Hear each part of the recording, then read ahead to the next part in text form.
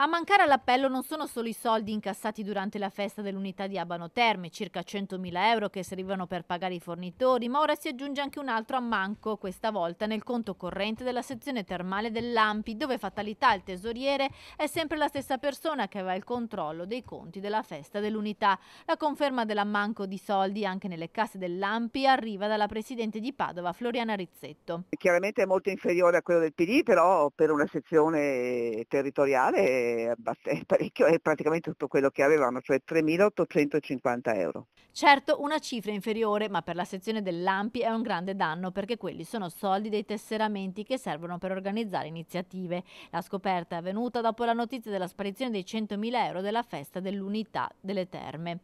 Essendo il tesoriere lo stesso è sorto il dubbio, da qui la scoperta dell'ammanco. Ora per il tesoriere, che è già stato sospeso dagli incarichi del PD, arriveranno altri provvedimenti. Ho avuto indicazioni dal nazionale, quindi faccio quello che mi dice il nazionale, una sospensione, cautela, una sospensione cautelativa e devo procedere alla denuncia, insomma credo che entro oggi di beh, la sospensione ho già attivato la commissione di garanzia e entro oggi faremo la denuncia.